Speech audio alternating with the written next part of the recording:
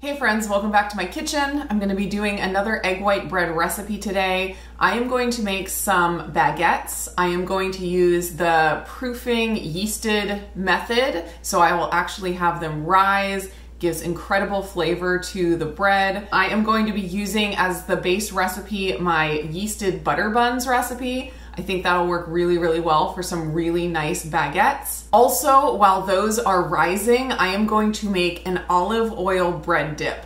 Back when I was a teenager, I worked at a health food store, New Seasons Market here in Oregon, and there was a product that they carried. Um, I think it was from the Bread Dip Company. They had all these different bread dips made with olive oil and different things. And one of them was just my absolute favorite, and it was feta pink peppercorn. And I don't know all of the spices that were in there because it just says on the, you know, label spices in the ingredients, which is not very helpful, but I am going to do my best to recreate that. If I have the pink peppercorns and the feta and the olive oil, I think I can get pretty close. And I thought that would be perfect to go with my baguettes. I didn't think when I decided to live a keto, low carb lifestyle that I would ever get to be able to enjoy that kind of a thing anymore, like olive oil vinegar bread dip. But amazingly, with the egg white bread recipes, you can actually enjoy those things again. I also have a feeling that this bread dip recipe would be really good on like chicken or on salads, different things like that. So I think it's gonna be pretty versatile. So let's get started with the baguettes first. If you are like me, you have a container of frozen shredded butter all ready to go in your freezer. Uh, but if you are not like me and uh, you don't have the frozen shredded butter already, the first thing you're going to want to do for this recipe is put butter in the freezer let it freeze solid, and then grate it while it's frozen. For this recipe, you're going to need one stick or one half of a cup of butter. Since I make a lot of recipes with frozen shredded butter, I just go ahead and shred an entire pound at a time and keep it in my freezer. After you shred it, go ahead and put it back into the freezer until it's time to add it to the recipe. The first thing I'm going to do is get my yeast proofing in my warm water. I want 236 milliliters of water that's between 100 and 110 degrees. It's just above at about 120, so I'm gonna let that cool off for just a minute. I'm gonna go ahead and stir in my one teaspoon of inulin. You can also use honey here or any kind of sugar and the yeast will eat it up. So you shouldn't have to worry about those sugar carbs in the end product. The yeast needs something to eat and it can eat inulin, it can eat sugar, uh, it cannot eat allulose. I did look that up because I'd love to be able to just use allulose because it's already in the recipe, but sadly yeast cannot eat that. All right, I'm right at 110 degrees, so I'm gonna go ahead and add in my yeast. This is just regular active dry yeast. We're gonna do two and a quarter teaspoons, which is the same amount that would be in a packet of yeast and I believe it's nine grams. I'm just sprinkling it over the top of my warm water. I'm gonna go put this down in my dehydrator. My dehydrator is set to 105 degrees and I'm gonna have it sit there and bloom while I get the other ingredients mixed up. Now in my KitchenAid bowl, I'm gonna mix together all the dry ingredients and that's starting with 100 grams of egg white powder, egg white protein powder, dried egg whites. As long as the only ingredient is egg whites, um, they should all work. Next is a half a teaspoon of cream of tartar, one half teaspoon of Redmond real salt, one tablespoon of gelatin powder. I use beef gelatin and one tablespoon is about 10 grams. Next is two tablespoons of allulose, and this allows for browning. You're not really doing it for sweetness, but it makes the bread softer and it helps the bread to actually brown and it gives a really good texture. Uh, 18 grams is two tablespoons. Then we're gonna add two tablespoons of acacia fiber powder, and this gives a really good texture as well as some structure to the bread. Two tablespoons is 12 grams. I'm gonna just give this a little mix, and then I'm gonna head down and get my wet yeast mixture out of the dehydrator. My yeast is nice and foamy and ready to go. The last ingredient I'm gonna add at this point is the arrowroot powder, and you do need this in this recipe. In a lot of my recipes, the arrowroot is optional. In this one, the um, yeast actually eats the arrowroot and that's what allows for it to rise. So I do recommend adding it. And same with the inulin or the sugar that you use, the yeast should eat it. So the finished product should not have the same amount of carbs as the ingredients starting. Unfortunately, I do not have the technology to be able to test exactly how many carbs are left at the end or if the yeast eats all of it. I do not know that. I do know that it doesn't spike my blood sugar, but it's just something for you to keep an eye on. And even at the original amount, the amount of carbs that this arrowroot adds, it's just two tablespoons, is very, very minimal. So you're gonna get a very low carb product either way. I'm gonna add two tablespoons of arrowroot to my wet mixture, and that is 16 grams. I'm gonna give that a little whisk here and then add my wet ingredients to my dry ingredients. Just gonna mix this to get everything moistened and then we will head over to the KitchenAid. Gonna start the mixer out on low and slowly increase the speed to high so it doesn't splatter. And then just mix it for about five minutes, but until I get a really nice thick texture.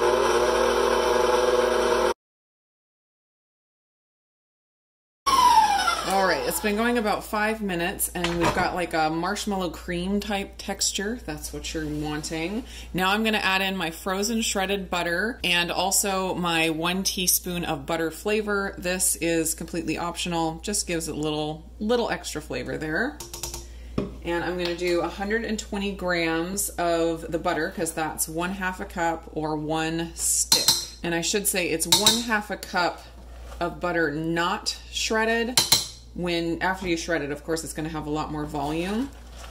So don't measure out a half a cup at this point. Measure out 120 grams. Just going to get this barely mixed up and then we'll get this into our pan.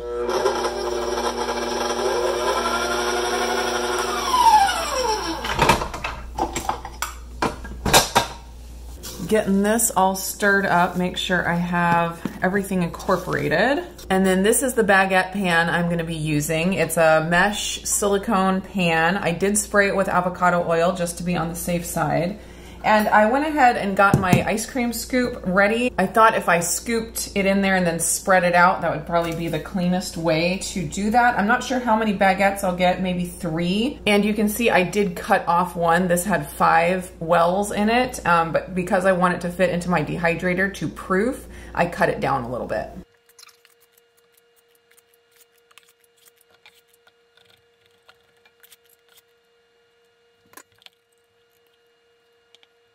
All right, looks like just two fit, and I'm just trying to get these a little bit smoothed out so they look pretty, although as they rise, they will kind of spread out, I think. So don't need to work too hard on that. I am gonna go ahead and sprinkle these with flake salt. If you wanna add toppings, you should do it before you proof because the proofing kind of dries out the top and the, the toppings will not stick quite as well. This is my Morton's flake salt that I love.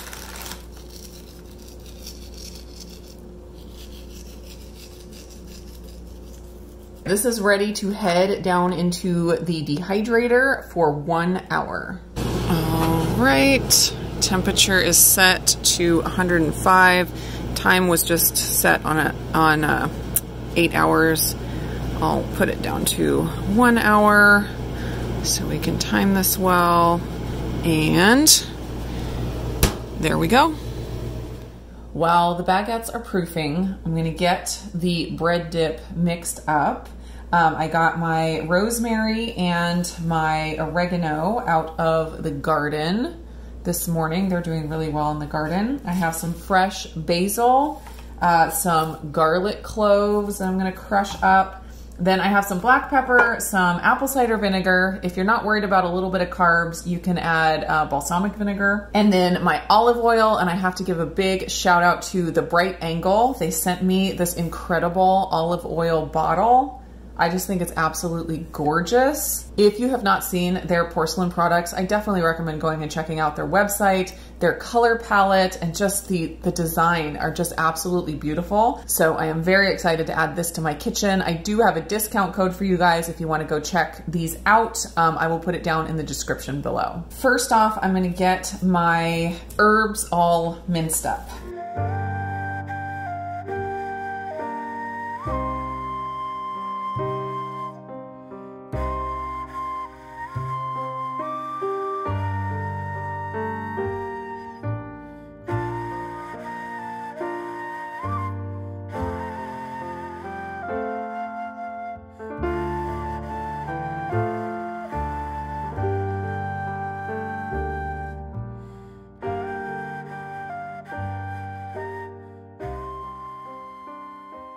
All right, then I'm gonna add about two tablespoons of the basil, about one tablespoon of the rosemary, and about one tablespoon of the oregano also. Oh my gosh, I wish you guys could smell this. It already smells amazing. These are the pink peppercorns, and if you have never tried pink peppercorns, I recommend it. They are delicious. Um, one thing about them is they're not as hard or as intense as black peppercorns. When you bite into one, it's it's kind of hollow and it's kind of hard to describe, but it's not like biting into a black peppercorn at all. And so in this recipe, I'm putting them in whole. I would never do this with black peppercorns, but with pink peppercorns, it works. I'm gonna do two teaspoons I am gonna add some black pepper also, just a quarter of a teaspoon. Then for the liquids, I always like to use my kitchen scale so I don't have to get measuring spoons or cups dirty. Um, I'm gonna do two tablespoons of apple cider vinegar, which is about 30 grams or one ounce. And then I'm gonna drizzle in about a half a cup of olive oil which is about 120 grams. No, I'm not gonna do that much. I'm gonna do a third of a cup, 80 grams. That looks beautiful. Now I'm gonna add in my feta cheese, probably about a quarter cup of crumbles. That's my guess at least. I think more than a quarter of a cup, probably a half a cup. Look at how incredible that is already looking. Oh my gosh. I'm mashing the feta just to get it to be combined a little bit more so it's really easy to dip the bread into. And I'm thinking this looks really, really Christmassy. You could totally serve this at Christmas. It's got the red berries and the green and the white feta like snow. It's really, really pretty. The baguettes are almost finished proofing, so I'm gonna go ahead and preheat my oven to 325 proofing time is done. I'm going to take these upstairs. The top gets like uh, dry. That's how you want it. Let's get these in the oven. I'm going to carefully transfer these over to my baking sheet that's lined with a silicone liner just to keep the mess down. And you can see that it lost a little bit of butter um, during the proofing time, but really not very much. As long as you have something solid underneath the, um, the silicone pan, you shouldn't lose a lot of butter. If you just set it onto the wire rack in the dehydrator, the butter will seep out. So definitely have something solid underneath. I am gonna see if I can get some slices on these baguettes. We'll see how that works out. All right, these are ready to throw into the 325 degree oven. I expect it'll take about 25 minutes. Look at how beautiful these are. Oh my gosh, and they smell so, so good. I cannot wait to dig in. Uh, I'm going to let them cool for about five or 10 minutes on in the pan, and then I will take them out of the pan and let them cool probably a little bit more before I try to cut them and taste test them. All right, I'm gonna give this a little slice and then we're gonna taste it with the bread dip.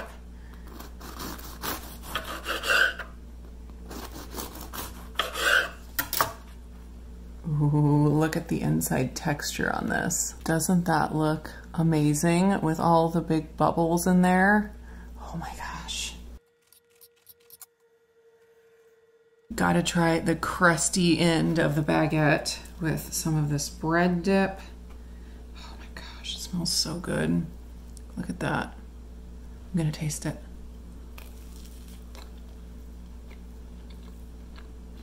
You guys. Oh my gosh. That, wow. That is incredible. Okay. Seriously, I could just make a meal out of this. The pop of flavor from the pink peppercorns and the creamy cheese, the fresh herbs. Oh my gosh. And I even forgot to put flake salt on top. I have this sitting here and I meant to sprinkle some flake salt on top of this right before dipping. Wow. Okay, so the great thing about this bread, it is very high percentage protein. So you pretty much could make a meal out of just bread and dip.